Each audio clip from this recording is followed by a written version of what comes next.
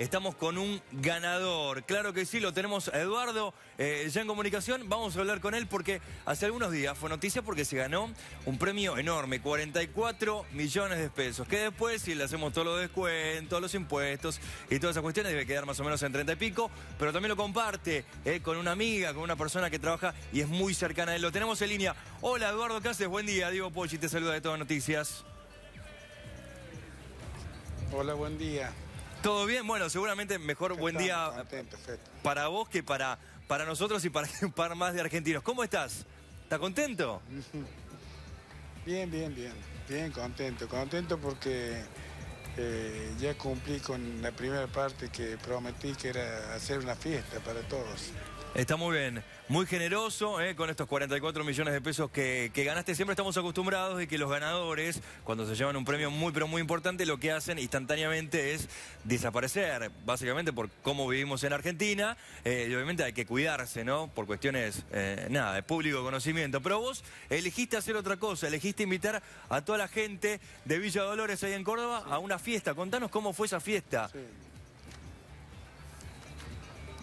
Eh, bueno, o sea, yo nunca, nunca, desde el primer momento dije que era yo, nunca, nunca me escondí. Y bueno, lo, primero que prometí fue una fiesta. Y la, hice, la cumplí el viernes, hice la fiesta el viernes pasado. Y bueno, la fiesta fue con orquesta, Catherine y, bueno, y, barra libre toda la noche. Eduardo, lo jugaste con una persona más, ¿no? Con una chica. Con una compañera de trabajo, sí. ¿A qué te dedicas Ella no quiere dar el nombre, bueno, ¿Cuál es tu trabajo? Yo soy ordenanza en tribunales. Eduardo. mi trabajo es repartir oficios, todas esas cosas. Eduardo, ahí estamos viendo imágenes de la fiesta a pura pachanga, por lo que se vio. Pachanga, digo, hubo baile. ¿Cuánta gente, cuántos invitados hubo y qué hubo este, durante la fiesta? ¿Se comió, se tomó, hubo orquesta? Contanos los detalles de la fiesta. En el momento eran para 130 personas, pero el número se agrandó mucho. porque empezaron a aparecer algunos amigos que yo no había invitado o, o algún invitado que venía con alguien más. Así que más o menos 180 personas fueron.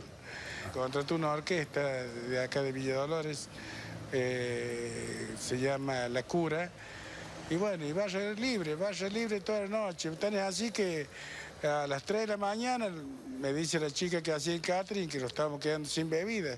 Y bueno, digo yo, ah, urgente buscar más. Pero mirá, dice que no, no, traigan más, le digo, no importa lo que se hagan, usted me traigan más bebida, así que... Eduardo. Fueron a buscar más bebida y siguió la fiesta hasta las 7 de la mañana. La bebida fueron a buscar más, a puro Ferné, alcanzó hasta las 7 de la mañana. Ahora, ah. la comida, el catering, teniendo en cuenta los colados de último momento, ¿alcanzó para todos? También, no, también, también alcanzó porque había una reserva por las dudas. Por las dudas yo le había dicho a la chica que lleve más. Sí, alcanzó para todos. ¿Qué te decía la gente, los invitados? ¿Qué es lo que más te llamó la atención de lo que te fueron diciendo al margen de la comida y del baile? Ah, no, me, felicitaban por la suerte que había tenido y me agradecían por tenerlo en cuenta, porque lo hayas invitado. Y bueno, así, cosas así, familiares que me felicitaban, me abrazaban, eh, sacaban fotos, bueno, todas esas cosas. Y por lo que estamos viendo en las imágenes, no te privaste de nada y te estamos viendo bailar bien, bien al ritmo del cuarteto, ah, pero también te subiste al escenario y cantaste con la orquesta. ¡Qué bien! Eh, también algo de Suiza. Sí, también. ¿Y salió bien? Todo bien, gracias a Dios, todo bien. No, digo tu, tu performance como cantante. todo bien. no es tan buena, pero en este momento, ¿quién va a pensar si sale bien o mal? Tal cual. La, cuestión era festejar nada más. Eh, sí, festejar y bueno, compartiste esto con todo el pueblo, hiciste algo inusual, Eduardo. ¿Y ahora cuáles son los planes? Con te cambió la vida, Eduardo. Los planes, no sé. Totalmente, totalmente. Primero quise ayudar a mis hijas a cada uno le, puse plata en su caja de ahorro, a mi mujer también. Y bueno, y lo demás ya veré qué hago. Ahora está plazo fijo, veré qué hago. Claro. Eduardo, ¿y seguís jugando? ¿Seguís apostando a los números que venías apostando durante tantos años? ¿O ya está? Sí. Sí, sí, sí, sigo jugando. ¿Los mismos números? toda la vida, así que voy a seguir. Sí, los mismos números, siempre juego los mismos números. Así seguimos la receta, a ver si en 10 años tenemos suerte. ¿Cuáles son los números?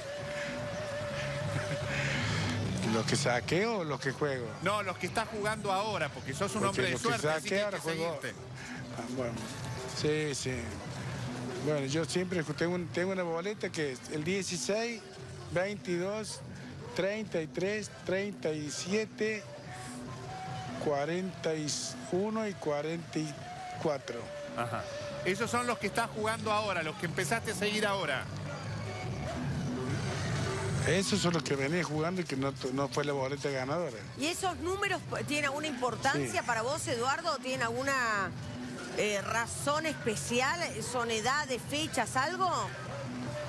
Sí, son, son edades, fechas de, mi hija, edades por algún otro evento que pasó, por algo, otras cosas que me han pasado, bueno, lo he, puesto ahí. Eduardo, te mandamos un abrazo muy grande. Bien. Y nos Gracias. nos encanta que te hayas divertido y que hayas compartido con toda tu gente ahí.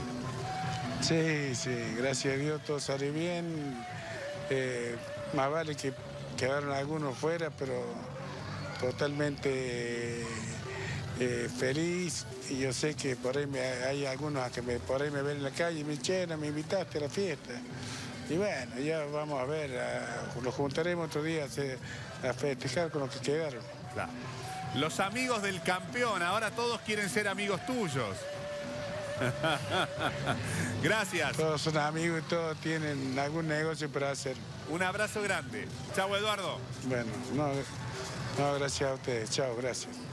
Chao, muy agradecido. Matías Bertolotti, se está lloviendo todo. absolutamente todo. Y ahora en partes de esta zona también de la ciudad de Buenos Aires. Y hace un ratito decíamos...